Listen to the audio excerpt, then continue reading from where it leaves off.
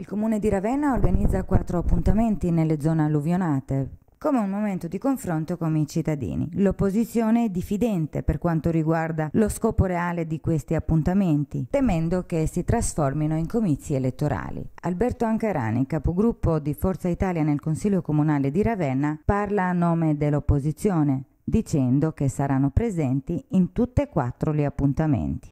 Eh, è giusto che eh, l'amministrazione comunale si interfacci con i cittadini eh, più di quanto abbia fatto finora. Abbiamo assistito fino ad oggi soprattutto a eh, prese di posizioni contro il governo, richieste ob quasi obblighi affinché Bonaccini dovesse essere il commissario straordinario della ricostruzione. Oggi vorrei evitare, mi auguro, che non vengano utilizzati questi quattro eventi organizzati dal Comune per fare comizi politici contro il governo. Come opposizione andremo lì ad assistere perché se il sindaco pensa di usare queste, questi eventi la, con la gente alluvionata per fare campagna elettorale o comizi contro il governo, troverà la sua opposizione consiliare, che però è la maggioranza che governa il Paese, lì a controbattere punto su punto.